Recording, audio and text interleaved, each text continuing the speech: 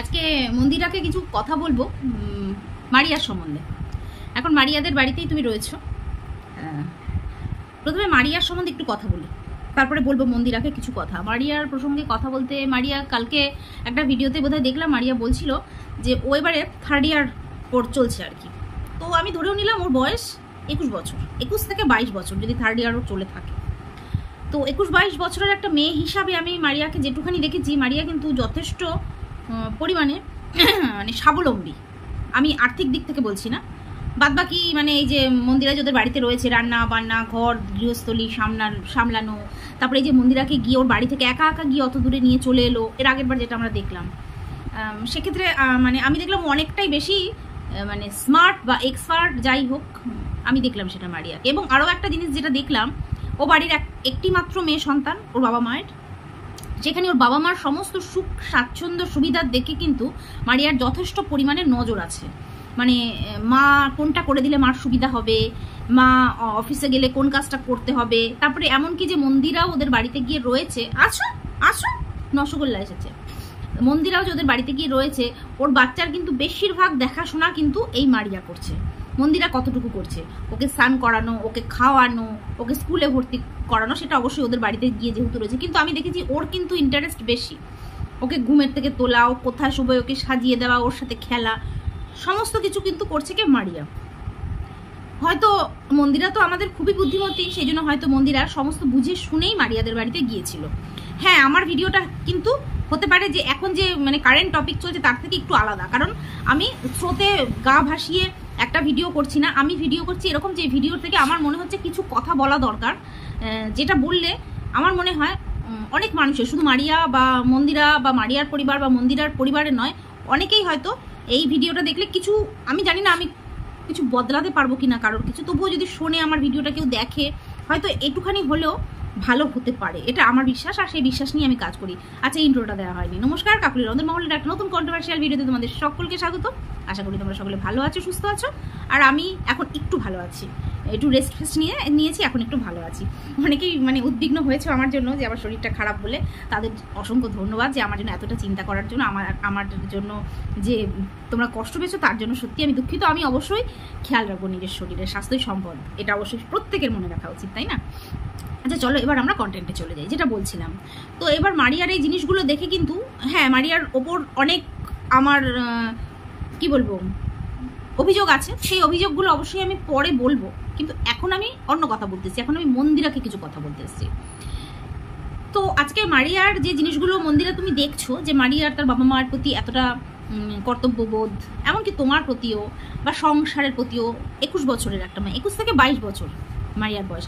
এই একুশ থেকে একটা বাইশ বছরের মেয়ে মানে তোমার থেকে হিসাব মতন কিন্তু মারিয়া দশ থেকে বারো বছরের ছোট। সেই মেয়েটির এতটা যে সংসারের প্রতি দায়িত্ব, কর্তব্য, প্রত্যেকটা, এমনকি সংসারের প্রত্যেকটা মানুষের প্রতি ওর দায়িত্ব, বাবা, মা, এমনকি তোমার মেয়ে, এমনকি তুমি, প্রত্যেকের প্রতি কে কোথায় শোবে, কে কোথায় ঘুমাবে, কখন ঘুম থেকে উঠবে, ঘুম থেকে উঠলে কার খেতে হবে?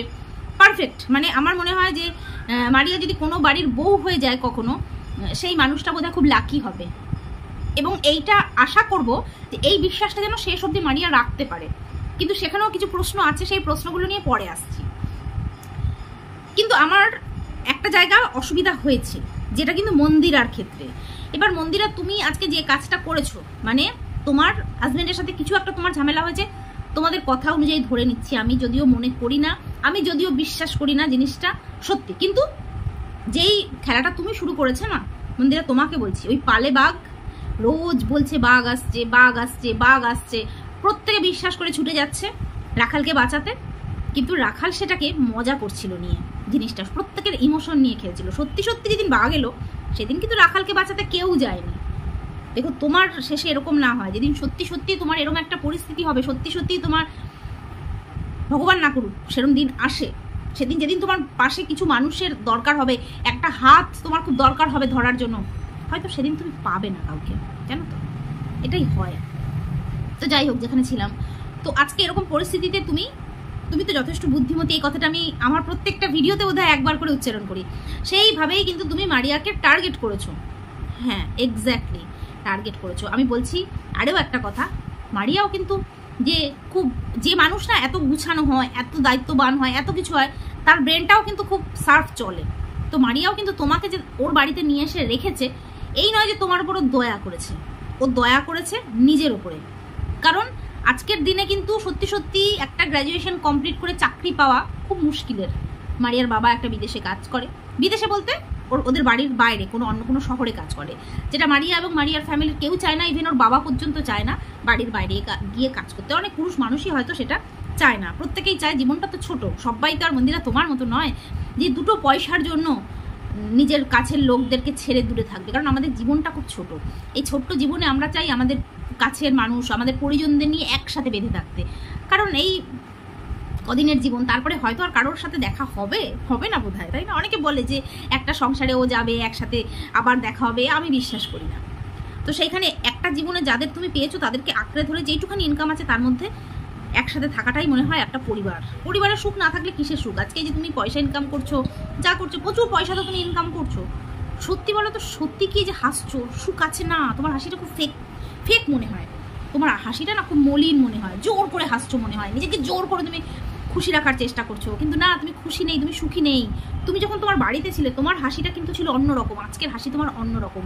আমি জানি না সত্যি সত্যি কি এটা, তুমি চাইছো নাকি তোমার উপর অন্য কারোর প্রেশার আছে? আমি সত্যি জানি না। তো যেখানে ছিলাম, তো সেইখানে তুমি গেছো। মারিয়াও তোমাকে অবশ্যই কাজে লাগিয়েছে। তুমি যে একা মারিয়াকে কাজে লাগিয়েছো তা নয়, দুজনেই দুজনকে কাজে লাগাচ্ছ। তোমাদের সম্পর্কটা কিন্তু অ্যাকচুয়ালি স্বার্থের সম্পর্ক। কেন বললাম? ধরো তুমি আজকে একটা, আমার মতন একটা মানুষ, যার কিছু ইনকাম নেই। ওই কালে ভদ্রে ওয়াইটি থেকে ইনকাম হয়। আমাকে বলো তো, কেউ কারোর বাড়িতে এই দিনের পর দিন আমার মেয়েকে নিয়ে গিয়ে ধরো মেয়ে যদি ছোট থাকতো, স্কুলে ভর্তি করিয়ে তার বাড়িতে আমি দিনের পর দিন থাকব, বাজার হাট আমি কিচ্ছু করব না। রাখবে কেউ না। কিন্তু তোমাকে রাখার অনেক কারণ আছে। তুমি বাজার করছ, হাট করছ, এসির বিল দিচ্ছ, সমস্ত কিছু তুমি দিচ্ছ। প্রত্যেক দিন ভালো মন্দ মারিয়া নিজেই বলেছে যে ওদের সংসারটা একটা সময় খুব খারাপ কেটেছে। আজকে ওদের সংসারটা মোটামুটি চলে মোটামুটি চলে।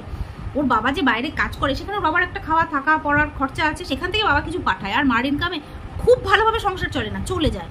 কিন্তু তুমি আসাতে ওদের সংসারে নিত্যদিন ভালো মন্দ খাওয়া, পড়া, কোনো কিছুর তুমি অভাব রাখছো না। কারণ ওরা অভাবে থাকা মানে তুমি অভাবে থাকা। সুতরাং তুমি অভাবে থাকবে না, ওরাও অভাবে থাকবে না। তো আমাদের মারিয়া, তোমাদের মারিয়া, ওয়াইটির মারিয়া, মারিয়ার একটা ওয়াইটি চ্যানেল আগে থেকেই ছিল। মারিয়া কিন্তু সেই চ্যানেলটাকে রেগুলার কাজ করতো না। কারণ ওয়াইটিতে সবাই সফলতা পায় না, তাই না? সবার তো আর মারিয়ার মতন মানে মন্দিরার মতন দিদি থাকে না, যেমন মারিয়া, মন্দিরা, দিদি আছে। তো মন্দিরা মারিয়ার লাইফে আসার পর থেকে মারিয়ার লাইফটা কিন্তু টোটালি অন্যরকম হয়ে গেছে। তাই নয় কি মারিয়া? অনেকটা চেঞ্জ হয়ে গেছে। আজকে তোমার ওয়াইটি চ্যানেল যেখানে কিনা তুমি অনেক রকম, অনেক কিছু করেছ। আমি তোমার পুরোনো ভিডিওগুলোতে গিয়ে দেখছিলাম, সেই প্রসঙ্গে আমি আলোচনা করতে চাই না। সেটা তুমি অনেক কিছু করেছ, অনেক কিছু অনেক কিছু। কিন্তু তোমার ভিউজ ছিল না। আজকে তোমার ভিউজটা এলো কখন? যখন তোমার বাড়িতে মন্দিরা এলো। তুমি মন্দিরার মুখটা দেখিয়ে তুমি ভিউজটা আনলে। কিন্তু মারিয়া, একটা কথা চিন্তা করো তো। আগামী দিনে যেদিন ধরো মন্দিরা থাকবে না, আমি তোমাকে হরফ করে বলতে পারি একটা কথা, মন্দিরা কিন্তু বেশি দিন তোমাদের বাড়িতে থাকবে না। এটা আজকে ডেট দিয়ে তুমি লিখে রেখে দাও, থাকবে না মন্দিরা তোমাদের বাড়িতে। তখন তখন এই যে এত কিছু, এগুলো কিন্তু তোমার সাথে থেকে যাবে। থাকবে না কি বলো তো থাকবে না মন্দিরা, থাকবে না তোমার চ্যানেলের এই জায়গাটা। থেকে যাবে কি? এই যে তুমি এত অপমানিত হলে ওর জন্য, এই যে এত কথা শুনলে ওর জন্য। আজকে এই যে সংসারটা, যেটা ও নিজের হাতে ভাঙলো না, আমি ওকে একা দোষ দিই না। একটা সংসার কখনো একা একা ভাঙা যায় না।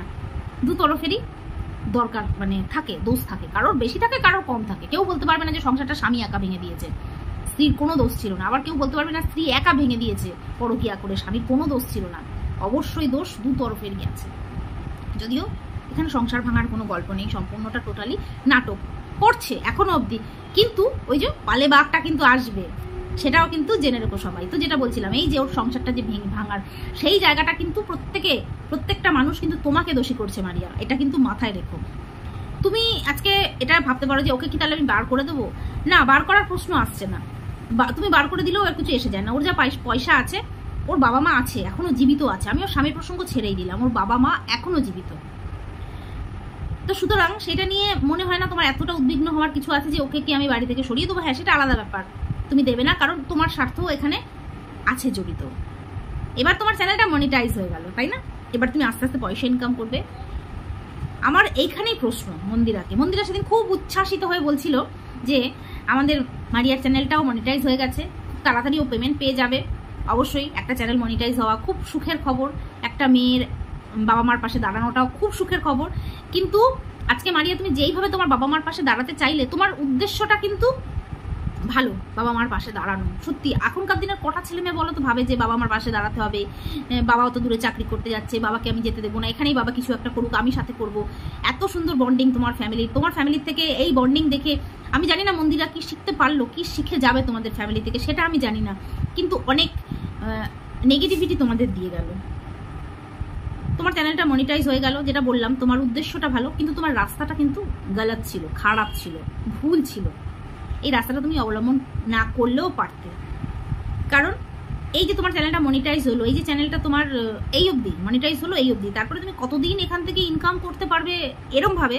কারণ তোমার এই যে ষোলো হাজার, এই ধরো তোমার প্রথমে কত ভিউজ হয়েছিল ফার্স্ট ভিডিওতে প্রায় লাখের উপরে, তারপরে সেটা কোথায় চলে এলো, আশি নব্বইতে বোধহয় চলে এসেছে, এখন তোমার কত ভিউজ হয়? এখনও মন্দিরে তোমার বাড়িতে উপস্থিত, যেদিন থাকবে না, সেদিন কিন্তু এই ভিউজটাও থাকবে না। কারণ তোমার সত্যিই তো, তোমার লাইফস্টাইলে সেরকম কি দেখানোর মতন কিছু আছে মারিয়া? তুমি চিন্তা করে দেখো তো। সুতরাং এই যে তুমি মন্দিরের পেছনে সময়টা নষ্ট করছ, তুমি কিন্তু তোমার এখন কিন্তু একদম টার্নিং পয়েন্ট লাইফের সেই সময়টা কিন্তু তুমি ওর মেয়ের আয়া হিসাবে নিজের জীবনটাকে উৎসর্গ করছ। এবার আসি মন্দিরার কথা মন্দিরা খুব উচ্ছ্বাসিত হলো যে, মারিয়ার চ্যানেলটা মনিটাইজ হয়ে গেল, পয়সা পাবে। কিন্তু একটা কথা আমার মন্দিরে তোমার খুব খারাপ লাগল। তুমি তোমার নেগেটিভিটি তুমি তোমার আসল রূপটা কিন্তু ওখানে দেখিয়ে দিলে যে তুমি আসলে কি?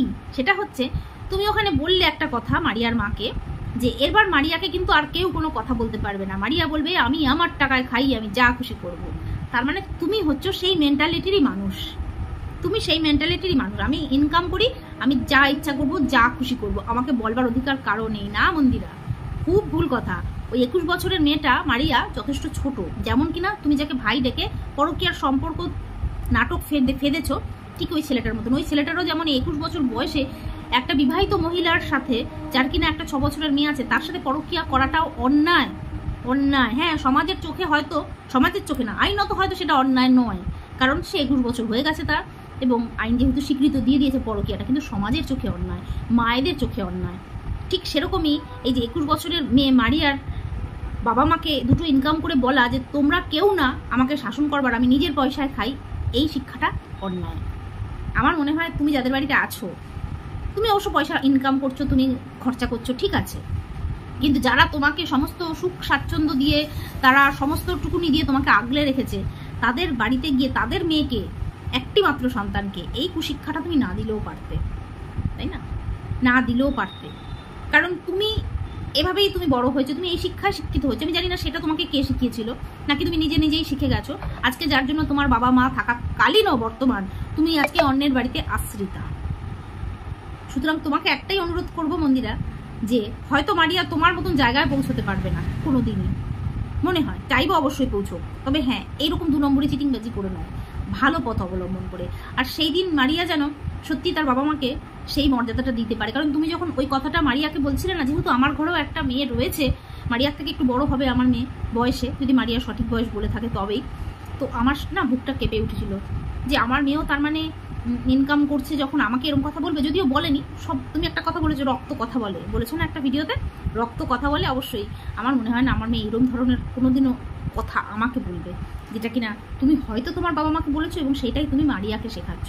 তো তোমাকে একটাই অনুরোধ করব যে, মারিয়ার বাবা মা হয়তো অনেক বিশ্বাস করেই বা কি কারণে জানি না, তোমার কাছে তাদের মেয়েকে, একটিমাত্র মেয়েকে তোমার হাওয়ালে ছেড়ে দিয়েছে আর কি। মানে তুমি তার সাথে বেশি সময় কাটাচ্ছ। কিন্তু তুমি তোমার যে বিষটা না তুমি তোমার যে কুশ মানে শিক্ষাটা, সেটা মারিয়ার মধ্যে দিও না। কারণ তোমার সংসারটা আজকে যেমন তোমার বাবা একদিকে, তোমার মা একদিকে, তুমি একদিকে, তোমার স্বামী একদিকে, তুমি কি চাও? তুমি তো বোঝো সেই জায়গাটা কেমন। সংসার ছাড়া, আপনজন ছাড়া তোমার জীবনটা কেমন কাটছে মন্দিরা তুমি চাও যে মারিয়ার প্রতি তোমার এতটুকু ভালোবাসা বা এতটুকু স্নেহ জন্মায়নি? চেও না। মারিয়ার এত বড় সর্বনাশ বা এত বড় ক্ষতি করো না তুমি। এটাই বলার ছিল তোমাকে। যে যাদের বাড়িতে গেছো, যাদের বাড়িতে আছো, আশ্রিতা হয়ে আছো, তাদের এত বড় ক্ষতি করো না। যাকে তুমি বোন বলে ডাকছো। আসলে কি বলো তো ভাই বোনের সম্পর্কটা তোমার কাছ থেকে না ঠিক সেইভাবে নেওয়া যায় না। কারণ তুমি তো ভাই বলে কাউকে ডেকে তার অনেক বড় ক্ষতি করে ফেলেছো, তার পরিবারের অনেক বড় ক্ষতি করে ফেলেছো। তো আজকে তুমি মন্দিরাকে বোন বলে সরি মারিয়াকে বোন বলে ডাকছো, না জানি এর পেছনে তুমি আর কি ক্ষতি করে ফেলবে মারিয়ার? ভয় লাগে আসলে, তোমার মুখে ভাই বোন শব্দটা শুনতেই ভয় লাগে। যাই হোক, এইটুখানি বলার ছিল। তো আজকের মতন নয়, এখনকার মতন আমার ভিডিওটা এই অবধি। ভালো লাগলে অবশ্যই লাইক কমেন্ট শেয়ার করে দিতে একদম কিন্তু ভুলে যাবে না। নতুন যারা এসছো, অবশ্যই কিন্তু একটা সাবস্ক্রাইব করে দিও। দেখা হচ্ছে খুব তাড়াতাড়ি নেক্সট ভিডিওতে ততক্ষণের জন্য